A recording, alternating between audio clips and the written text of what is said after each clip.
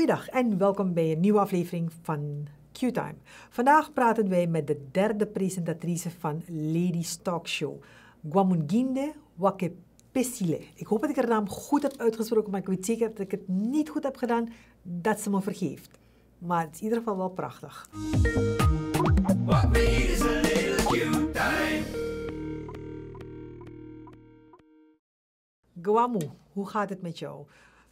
Het gaat prima. Ik ben een beetje grieperig. Dus mijn stem is anders. Maar voor de rest gaat het. Oh, gelukkig hebben we afstand. Dus dat is, uh, dat is goed. Oké, okay, wij kennen elkaar natuurlijk al een klein beetje. Maar misschien de kijkers nog niet. Laten we alvast een beetje nader kennis maken met jou. Ik ben dus Guamu Gindi. Mijn vrienden roepen me Guamu. Dus de kijkers moeten dat gewoon doen. Ik ben 29. Ik heb psychologie gestudeerd. Ik ben life coach. En ik ben nu ook host van een van de hosts van Ladies Talk. Ja, oké, is goed. En ik weet bijna zeker dat het conversation starter altijd je naam is. Vaker, vaker. Een conversation starter, maar ook een conversation ender. Oké, hoezo? Ja, ja, ja. Omdat soms, um, toen ik jonger was, als, als een man me benaderde, zei als je mijn naam in één keer kan zeggen, krijg je mijn nummer. Als je het niet in één keer kan, krijg je het niet. En de meesten denken van, ja, hoe moeilijk zal het zijn? Saskia, Sandrina, toch? Dus het is een goede ender, also. Hele goede. Maar wat is je nou end wanneer je eentje is die je wel leuk vindt? Of dan zeg je, die, dat zeg je dat, dan is dat niet de quiz. Nee. Als ze leuk zijn, doen we niet moeilijk.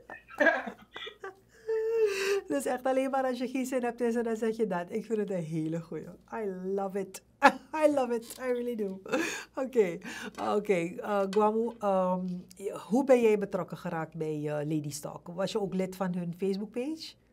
Interessant genoeg ben ik geen lid van de Facebookpage. Nog steeds niet? Ik moet het nu wel gaan worden. Bad, maar... Bad you. nee, nee, nee, nee, nee. Vergeef me. Het komt omdat ik gewoon niet zo actief op Facebook ben. Oké. Okay. Ik ben niet zo dol op de platform, maar ik heb er wel heel veel van gehoord. Ja, oké. En uh, uiteindelijk ben ik in contact gekomen met Donna, een van de oprichters van Lady Stock. En toen um, begonnen we te babbelen. En toen leken we een goede fit. Was het, de, was het de eerste keer dat je iets met media had gedaan toen je gevraagd werd? Nee, niet per se. Ik heb voor Young Professionals Café heb ik ook een, een, een, zo'n talk evenement gehouden voor de First Lady was ik bezig met het project Mooie Voelen. Daar was ik een host. En nu dus. Het lijkt een beetje alsof de dingen oplopen, hè? Om uiteindelijk nu bij Lady te zijn. Ja, oké. Wat vind je ervan? Wat vind je van het platform sowieso? Je hebt een uh, achtergrond in psychologie.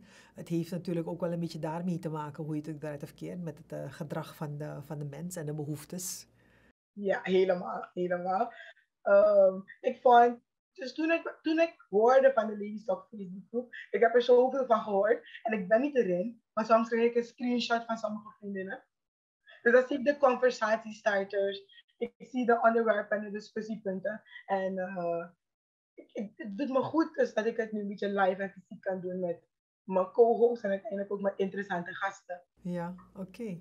Oké, goed. Um, maar je kent Ladies Talk niet. Je wordt gevraagd om mee te doen is het dan misschien juist goed dat je het niet kent, zodat je het misschien ook op een andere manier kan benaderen? Ja, ik probeer, en dat zei ik dan ook vanaf het begin, ik kom, maar ik praat vanuit mijn lens van life coaching, vanuit mijn lens van psychologie. En uh, ik ben, ook wanneer gasten komen, ben ik niet altijd op de hoogte van de going on van gasten. Normaliter ga ik op mijn Instagram of ik vraag mijn vriendinnen, Saya, kom, vertel me de laatste tien van Saya. Dan krijg ik dan zo de informatie. Maar het houdt me dan een beetje niet biased. Toch? Ik ben open-minded, ik luister, ik leer, ik geef tegengas. En ik denk dus dat het ook een voordeel kan zijn dat ik niet te, ja. te veel betrokken ben. Oké. Hoe heb je het ervaren om inderdaad met twee andere dames uh, samen, normaliter uh, de ervaringen die je tot nu toe hebt, dan was jij dus de host of was jij uh, zeg maar de lead. En nu moet je toch wel gaan, gaan, gaan mengen met twee andere dames die tegenover één gast zitten. Ja, precies. Twee verschillende persoonlijkheden, twee verschillende achtergronden, of drie verschillende achtergronden en persoonlijkheden. Um, het is natuurlijk anders, want meestal doe ik het eigenlijk. Ben ik een beetje een one-woman show. Um, maar ik vind het ook wel prettig, want de inzichten die ze delen, soms denk ik, hmm, daar heb ik nooit aan gedacht. Of zo, kijk ik niet ernaar. Of soms ik om dingen een beetje te serieus te maken. Weet je, omdat ik een beetje naar school voor ben gegaan. Dus soms is het ook leuk als mensen een beetje lichter en luchtiger om over bepaalde topics te praten. Dus dat is eigenlijk wat je, wat je vindt dat je zelf uh, uh, toevoegt aan de balans. Ja, precies. En ik vind het dan een mooie balans. Ja, okay. een beetje, ja, je hebt net gezegd, je, je kijkt naar de onderwerpen inderdaad vanuit je perspectief van een life coach. Maar je kan natuurlijk ook naar de onderwerpen kijken vanuit jouw psychologieachtergrond. Want dan gebeurt er heel iets anders. Of combineer je dat? Ik combineer het natuurlijk, want psychologie is wetenschappelijk, of course. En life coaching is een beetje eh, in de lucht daar de laatste tijd. Maar ik probeer altijd, ook in mijn life coaching business, uh, is het gebaseerd op wetenschap. En, uh, en wat, ik, en wat ik heb geleerd bij psychologie. Dus het is altijd een combinatie. En natuurlijk ben ik ook mens. Met mijn eigen set ervaringen. Met mijn eigen bagage.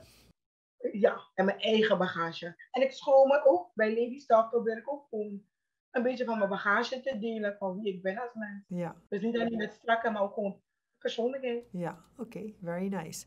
Um, wanneer je dus een presentatrice bent, een host bent, moet je natuurlijk ook ervoor waken dat je uh, tegenover je gast niet tegenover iemand gaat zitten alsof je uh, alsof de persoon je cliënt is. Je bent eigenlijk een host, dus het is een andere rol. Heb je ooit uh, een beetje een grijze scheiding gevoeld uh, tussen die twee rollen? Mm, ja, ik denk wel dat er een scheiding is. Als voor what I do for a living, moet je luisteren naar mensen.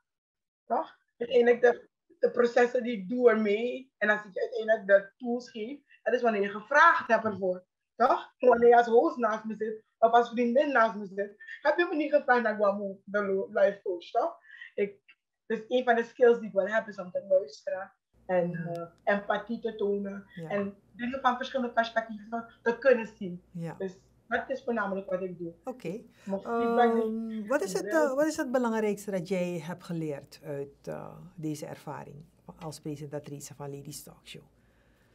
Um, ik, ik weet niet dat ik per se iets heb geleerd, maar die voor me bevestigd. Toch? Dat als vrouwen bij elkaar komen en we put our mind to something. En net als Donna zegt, hey, ik heb een droom, ik wil, ik wil een platform creëren voor vrouwen, door vrouwen. En dan zie je gewoon dat het kan. Alleen deze moeilijke tijden in Suriname. Mensen zeggen, heeft het wel zin om iets te doen? Moet je nog wat doen? Misschien moet je gewoon verhuizen. Dus ik, ik ben wat ik heb geleerd is dat het gewoon kan. De mogelijkheden zijn er en de mensen zijn er ook. En de willingness is er ook. Mm-hmm. Ja, dat is het belangrijkste. Hè? Willingness en eigenlijk besef dat je niet kan stoppen. Je moet gewoon wel altijd doorgaan. Yes. Mm-hmm. Oké, okay. goed. Wat is uh, de meest memorabele uitspraak die iemand heeft gedaan tijdens die um, afleveringen, die je bijgebleven is? Ik denk elke aflevering heeft zo'n charme. Maar ik denk als eerst natuurlijk die van mevrouw Nipte. Het feit dat ze zo open eerlijk was geweest over hoe haar de eerste relatie niet is gelukt. Voor de kijkers die het nog niet hebben gezien, dat betekent dat je naar YouTube moet om het weer te gaan kijken. maar ze, ze vertelde zo open over waarom de eerlijk eerste relatie niet is gelukt. En uh, gaf de foto zo open, eerlijk toe. Dat ik me herinner dat, weet je, soms denken dat je succesvol en sterk bent, alleen als alles goed gaat. Mm -hmm. Ja wat heeft me herinnerd en laat me denken, hey, het is oké okay to be human en dat het je nog steeds kan lukken. Ja, en dat je eigenlijk juist soms meer leert van je failures dan van je successen. Precies, en het maakt het verhaal zo, het maakt jou als mens, het maakt je zoveel rijper, zoveel mooier, zoveel aantrekkelijker. Ja, oké. Okay. Um, ik heb uh, through the grapevine gehoord dat er ook weer een seizoen 2 komt. Hoe kijk je daar uh, tegenaan? Zijn er vogeltjes, vogeltjes fluiten? Vogeltjes, ja. ik keek er echt naar uit. Ik keek er echt naar uit. Ik uit naar de gasten, de mooie, talentvolle mensen, interessante mensen die we kunnen uitnodigen. En we hadden bijvoorbeeld een, een programma met Saya. Een van de afleveringen was met Saya. En ik wil ook gewoon dat soort mensen waarvan, weet je, een beetje unconventional manier van leven of meningen hebben. Maar het feit dat ze het kunnen delen. En, en ik kijk dus uit naar een seizoen 2 met zulke interessante mensen. Ja, oké, goed. Dankjewel, Guamu. Uh, en wij kijken ook uit naar het seizoen 2. Terwijl we nog genieten van seizoen 1. Want we zijn nog niet daar natuurlijk. Hè? We zijn net een uh, paar afleveringen in het seizoen. Dus we hebben nog een tijdje te gaan. In ieder geval, yes. dankjewel voor je bijdrage. En uh, ik zou zeggen, heel erg veel succes met de voorbereidingen voor uh, het komende traject. Dank u wel, het is altijd prettig met u. Is goed. Thank you. Bye. Bye.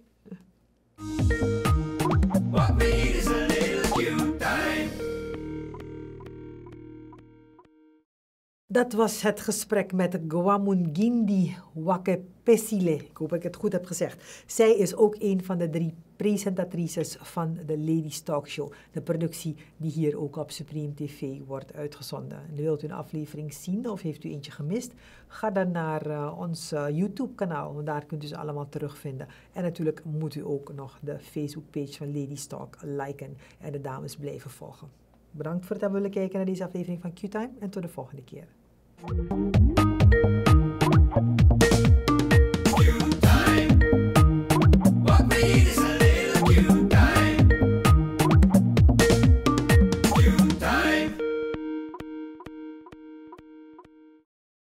This is another Supreme production. Supreme TV. To entertain, to inform, to inspire.